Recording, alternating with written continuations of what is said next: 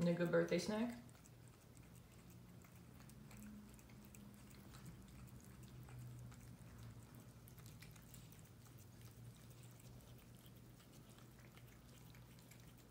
You're just looking at the potatoes, aren't you? Don't look. There's three more.